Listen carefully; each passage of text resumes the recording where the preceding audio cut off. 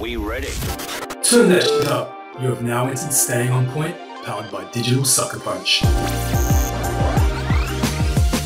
Discussing all things business, fitness, and marketing.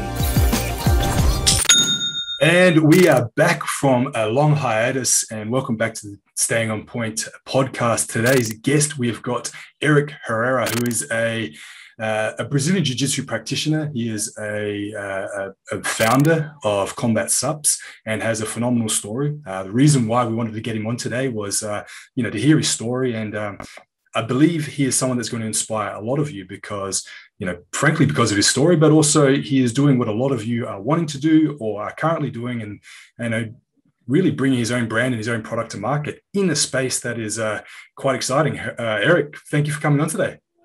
Yeah, definitely. Thanks for uh, having me, David. And I know that you're up early because obviously you're in Australia. I'm here in the States. And because I'm your guest, you're nice enough to do it at a reasonable time for me, even though it may not be reasonable for you. Nah, you know, early bird gets the worm, as they say. I'm, I'm caffeinated or halfway there. So, you know, we'll make this work. Awesome. Perfect. Hey, listen, to get things off, you know, tell me what are you up to? And actually before we even get to what are you up to please give us a background story on you. How did you get to where you are right now? What was the motivation? What was the inspiration? Uh, not only for your, your personal fitness journey your health journey but also what inspired you to start Combat Supps yeah so it's a long story so it's going to twist and turn but i problem i promise there is a point at it towards the end. So kind of going back to uh, you know little Eric, or as I was a kid growing up, I was always involved in sports. So I played football, baseball, basketball as a little kid. Then I played football and baseball in high school. I played baseball in college. Um, so always in shape, always doing things. And then after I graduated, the first year I was so tired of having to work out basically all day, every day that I was like, all right, screw it. I'm not going to do anything. And then I started getting fat and so I was like, all right, now I have to start getting back into shape, doing that kind of thing. So then let's call it for the next, I don't know, six, seven, eight years, something like that. Continue to stay in shape, work out, those kinds of things. Uh, and then I met my wife, which was awesome. But because I was happy, I started working out a little bit less. And then I had a daughter, right? So then I came up with the excuses of, well, you know, now I'm married, I'm, I have a kid, I have a, like a real job. So, you know, if I don't work out, whatever, I'll be okay. Mm. Um, and, you know, that probably continued for, I don't know, three or four years, something like that. And uh, towards the end, I'm not a very big guy. So I'm only five nine. I don't know what that translates to in meters, but it's not very many meters. And um, we do, we do. So at that, there we go. Yeah. So, you know, in that you know, at, at that height, I was at the worst, I was 210 pounds, which as you look at, you know, body mass, body fat, you know, the ratios were definitely out of whack there. That was not, uh, you know, ideal for, for much. Mm-hmm. And because I have a high stress job and I was doing some other kinds of investments, uh, I was definitely on my way to being that guy that was going to die at his desk of a heart attack at 45, 50 years old, right? Because I'm working 16 hours a day, not taking care of myself, eating like shit, all of the things you're not supposed to do. Hmm. So, you know, as my daughter, you know, turned three or a little bit after she turned three, my daughter was like, Hey, or my wife was like, Hey, there's this jujitsu place across the street, and our daughter is super active. And so she's like, I think I want to take her to that so she can learn how to defend herself. Um, you know, learn, you know, at least maybe try to calm down a little bit, learn a little bit of self discipline. I was like, yeah, for sure. I, I, want her to kick ass. So go for it. Hmm. Uh, so she did jujitsu for a couple of months and they do parents and kids classes. So then I started doing the parents and kids class. And that kind of got my competitive juices flowing again. uh, but the problem was I was I was so overweight that I was like literally winded when I was doing the warm up. But sucked it up, went through, and finally I just kind of made the decision. I was like, all right, I'm going to do this. I'm going to uh, start training jujitsu. So went signed up went to my first class uh, i felt like i was going to have a heart attack about halfway through. And i don't know if i was wearing you know some sort of measurement tool like a whoop or something like that it probably would have said that right? Yeah yeah yeah. But continued to train really fell in love with the sport. And you know part of it is just stress relief because honestly choking people is a really good stress reliever. Uh, but part of it too right is it's just you feel so much better. And i started to get into shape. And then I, because I'm so pet competitive, I started to compete. Um, and so if you want to compete, you need to get to even better shape. And sometimes just training on the mats isn't enough. So then I started doing different kinds of workouts and CrossFit and those kinds of things. So then I was actually in really good shape. And as I started looking to things like, okay, how do I adjust my diet? What are the right kind of supplements I should be using, you know, on the mats for combat sports athletes? As I looked around at the marketplace, I didn't see very much, right? There, there were really, there wasn't anything specifically designed for jujitsu or MMA, MMA or Muay Thai or those kinds of things. And part of the problem that I found with traditional kind of pre-workouts that are awesome, you know, when you're you're banging iron right that are in the gym is it gets you really jacked up um, which is helpful for that. But when you're on the mats that doesn't help you at all. That's actually the opposite of what you want. Yeah yeah. Right? You want to stay calm focused. You want to kind of think two moves ahead. And so i i started kind of playing with supplements. And honestly i just i bought a bunch of stuff and then started doing some testing on my own. Right? And to see, all right, so these are kind of the common formulas. Let me try some of these and then we'll make some tweaks from there. Uh, I'll be honest, there were a couple of times I definitely got it wrong in my testing. And as I started training, I was like, wow, yeah, that didn't work at all. So then, uh, kind of because of my of my other job, I was actually introduced to a guy that uh, runs a uh, supplement manufacturing company. So I talked to him. He hooked me up with his team. We then do it, started doing some real tests uh, to figure out, okay, what is really going to work on other people? And what's that? On other people? Test on other people this time? Yeah. Yeah. we did, yeah. So I, I still, I'm still our lead guinea pig, so I okay. still test everything first. Yeah, yeah. Uh, but yeah, once I'm like, okay, I think we're, I think we're in the neighborhood. Then yeah, some of the guys at my gym will help me test as well. Yeah. So did all of that, and then after about 14 months of testing, uh, finally, you know, came to the formula that I, I started with now. So this is it's called Before. Phenomenal, phenomenal. And um, from that, you know, and I'm going to wind it back because I'm going to I'm going to poke holes in a good way a, a, lot of things that you just said there but from that period of time where you first took your daughter to bjj to where you are now what how what time frame are we talking there? Uh, about four and a half years. Okay fantastic. And how long did it take before you decided that all right you know i'm going to start doing this seriously. I'm going to compete you know i'm going to this is not just me rolling around having fun with my daughter. This is something that i'm going to pursue um, competitively. Uh, so in jiu-jitsu we have a belt system kind of tr- similar to other martial arts right? But on those belts there are there are also stair steps. And when you're a white belt which is kind of like entry level you get a stripe every month basically right? Yeah. depending on your skill uh, I signed up for my first. You're not allowed to compete until you have three stripes. I signed up for my first competition before I got my third stripe because uh, I was just like, yes, I'm going to do this. Force yourself. Force yourself. Pretty much. Yeah, yeah, phenomenal. And um, and then obviously with the introduction of the supplements, uh, you know, you saw what was out there in the market. You tested a lot of products that are out in the market. They weren't really applicable to combat sports, specifically, you know, BJJ. And myself, I've never done any sort of Brazilian Jiu Jitsu. I've done a lot of striking sports. Uh, you know, I've rolled around on the floor with my friends, and I know how easy it is to gash yourself out. Um, I could yeah. only imagine if you're actually trying to either put yourself in a position to defend yourself or be in a, you know a combative position that it's a whole nother ball game. So um, you know, and I train weights pretty, pretty heavily. And I know those high stim subs can gash you out quick. So if you're rolling around the floor, um, you know, that's certainly an, a no go. So, what yeah, you, for yeah. sure. And also, you know, it, it doesn't really matter what kind of cardio you do. We have guys that do CrossFit, we have guys that run marathons. Yep. And the first couple times they do jujitsu, they're still gassed because you're using your whole body and another grown man is trying to strangle you unconscious. Yeah. So you're you're tensed up and you're you use everything almost immediately. Yeah, and, and you know, like there's a notion, well, not, it's not a notion, it's actually science. That's called this the principle of specificity. You know, when you train for something, you train to do specifically. You know, on that, on a, on a side note, is there besides actually doing it, is there sort of external training that you can do to prepare yourself for for essentially having a grown man trying to choke you out on the mat?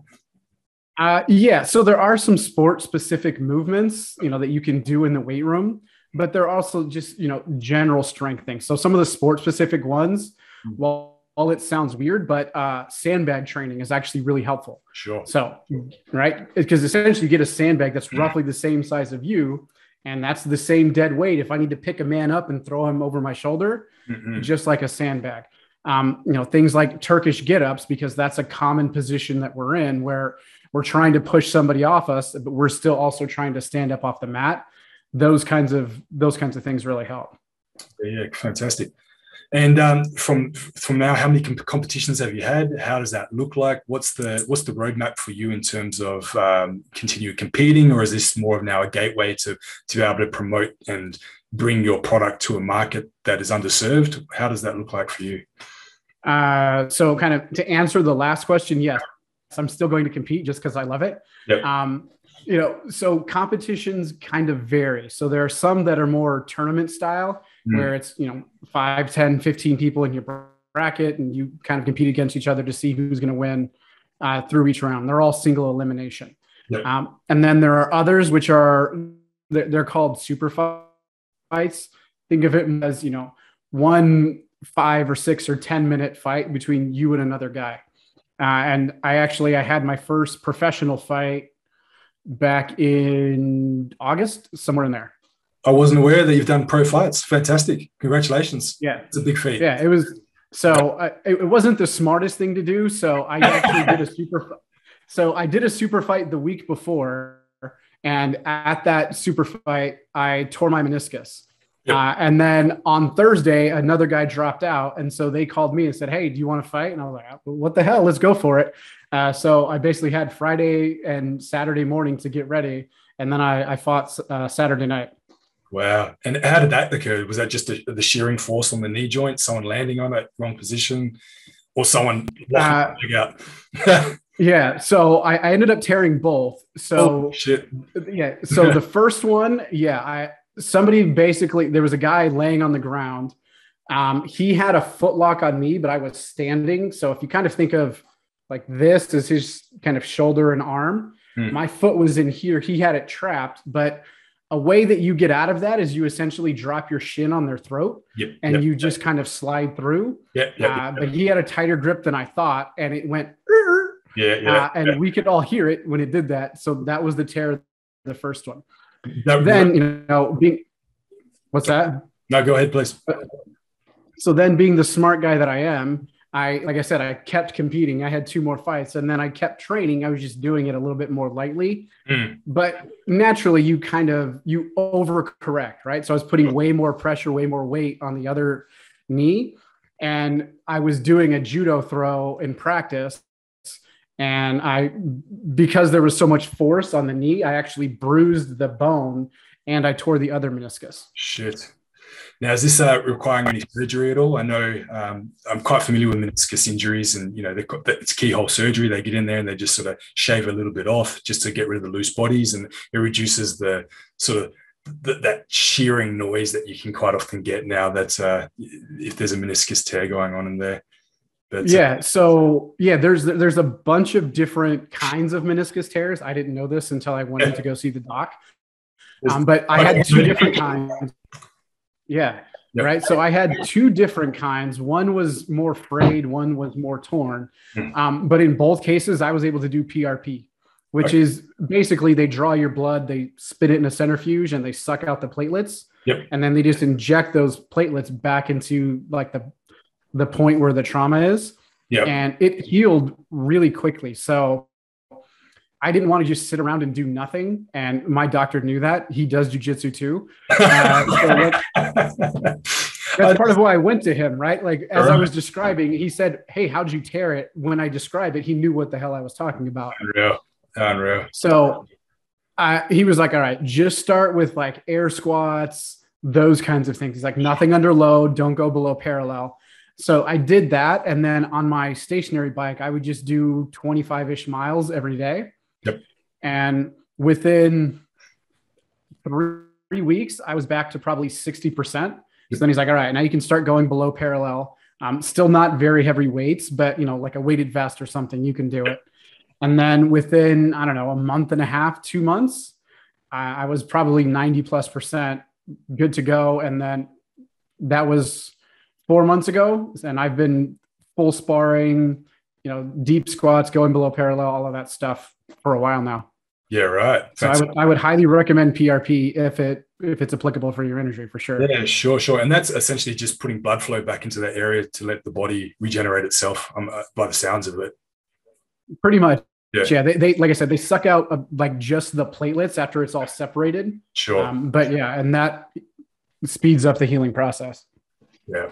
Wow. What a journey. What a journey. So hey, listen, I'm going to dive into about com- Combat Supps. You know, this is the forte. We've worked together, you know, on this product. We've assisted you in uh, certain areas of uh, the marketing and so on and so forth. So I'm, I'm really curious, and I know people listening are, you know, probably for more of the, the business, e-commerce, fitness side of things as well as, you know, you know, hearing about your exposés on the mat. But um, right now with the formulation that you've got, you know, what sort of feedback have you gotten from the people that have used the product? Who have you got um, outside of your general community as well? Yeah, so yeah, I'm I'm starting to get you know a lot more people just kind of reaching out randomly on Instagram. You hmm. know, sometimes they'll put it in their story. Sometimes they'll just DM me and say, "Hey, your stuff is awesome. It really helps me get through. Hmm. Uh, you know, kind of get through training." Uh, you know, lots of folks really like the fact that it doesn't get you really jittery. It's it's more of kind of like a steady climb. Sure. Right. Is kind of the way that the energy is delivered. Yep. And because it's that steady climb, you also don't get that dramatic crash either. It's kind of even up, even down, um, which is really helpful. And so all of the feedback has been around it's, it's either around the okay, the way that the energy is released, but also because we have some nootropics in there, they like the fact that they are more focused and you're able to pay attention. So a lot of the moves that we do are kind of complicated. It's grab here, move this here, kick your leg around this way, spin upside down. And there's a lot of steps. And half the time when you're sitting in class, you're like, what the hell did he just say? uh, but, but honestly, people are noticing like, like they're picking up on things more. And then another common thing that happens is you go through class and we practice all of these things. And then as soon as we go into sparring, which is, you know, 90 ish percent speed basically of a full fight, um, everything you just learned goes out the window. Sure. Right. And you, you kind of go back. Same thing in striking, right? And you know, it, so you kind of go back to your tried and true. But a lot of the feedback we're getting is I'm actually remembering what the hell I just learned, and I'm able to do it again because it's it's going in there. I'm registering information a little bit differently. I'm able to focus a little bit more, and because I'm not all amped up, then I'm able to recall and then correctly put my hands or my feet in the right place. Yeah, phenomenal, phenomenal. And what I love about this product and I love about the brand is that we quite often see supplements out there. You know, the, the, the, market, the industry is, you know, it's highly saturated, highly skeptical industry because I suppose every man and their dog to some degree, you know, I shouldn't say every man and their dog, but I can say the barrier to entry to get into the industry now is a lot lower. So you can see a lot of drop shipping brands where you've got manufacturers that sort of mass produce the same product, but people are relabeling it and sort of trying to serve the same general health and fitness market. But what I love about your product is that it's very specific, it's very niche. It's serv- not even servicing combat sports as a, as a whole, though it is, but it's very niche down to Brazilian Jiu Jitsu and it serves that particular market. And not only that, it, it, it, you know, it's, it serves the market in a way that really understands what their needs are. So, you know, you could have quite easily re- released a high stim pre-workout that would have got people amped up and, you know, aggressive aggression on the mat and so on and so forth. But as you've already pointed out, they would have gassed out in the first 20 minutes.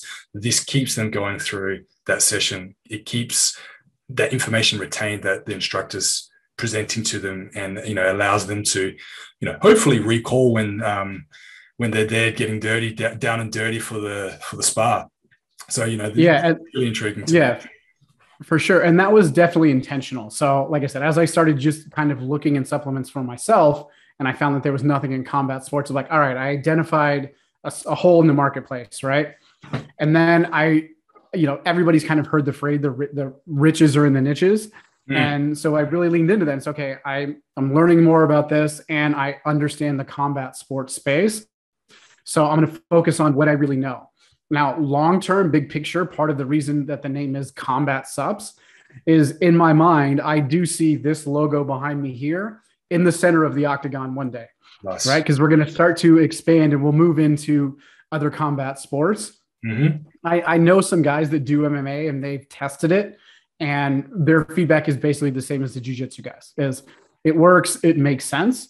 Um, but and I want to really hone in on getting the messaging right and understanding my audience in jujitsu first. Sure. Um, once that, that's totally dialed, then I'll expand into other markets. And the same kind of goes for the product line. You mentioned, yeah, you can get kind of a the the standard formula and just slap you know Bill's brand on it or whatever. Yep. I wanted to do everything custom, and so that takes a long ass time to get it right. Hell yeah.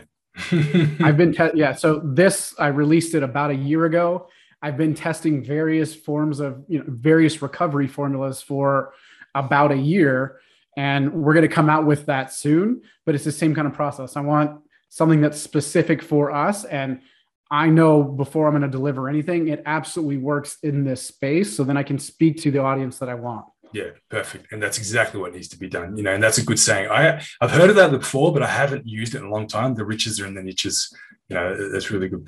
So tell me, in the whole process of developing, let's put the developing of the product aside, but in the process of actually bringing it to market, the marketing, the tech stack, advertising, the positioning of the brand, what is one sort of pain point that you've really come across and you know how did you overcome that yeah so honestly i think the biggest pain point was finding the right voice for the brand so in my head i i understood the avatar that i was going after hmm. right so it's guys that are you know 25 to 50 ish that do jujitsu have some disposable income and there are some other factors in there as well that are built into the avatar, but that's basically it. Sure. And so I part of where I messed up is when I would write copy or when I would, you know, either whether it's on advertising or on my own site, I wasn't thinking, how do I right? How do I get into his head? What are his needs?